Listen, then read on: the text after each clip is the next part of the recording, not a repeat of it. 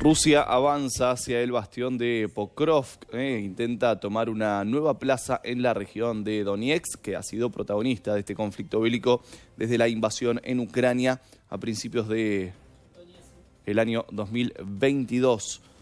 El ejército ruso asegura la captura de Grodovka y Krasnogorivka, acercándose, como decíamos, a Pokrovsk, objetivo clave en la ofensiva del Donbass mientras se reportan pérdidas significativas de armamento pesado.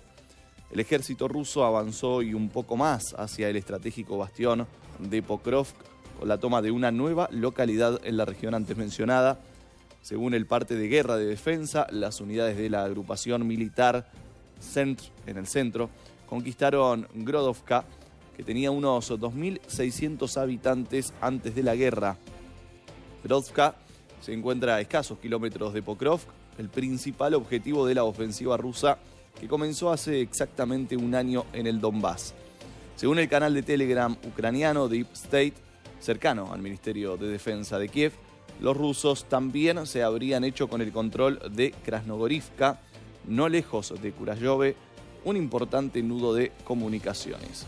El ejército ruso ya aseguró el fin de semana haber conquistado otra pequeña localidad cerca de Kurayove, el pueblo de Selane Druge.